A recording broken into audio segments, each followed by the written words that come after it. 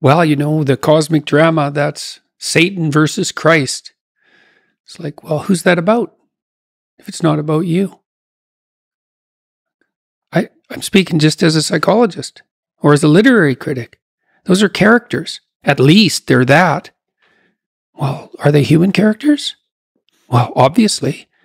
Well, are they archetypal human characters? Yes. What does that mean cosmically and ontologically? I don't know. Is the world a story? Maybe. But the way stories are often told is the characters embody a Yeah, I know. stable. Those are those are unsophisticated. Not great literature, though. It's very rare in great literature. What you have in great literature generally is the internal drama, right? In as the literature becomes more pop, I would say, the characters are more unitary. So there's a real bad guy and he's all bad, and there's a real good guy and he's all good. And that's not as interesting. It's not as sophisticated.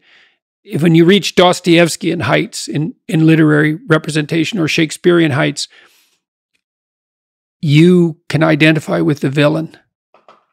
And that's that's when literature re- really reaches its pinnacle in some sense.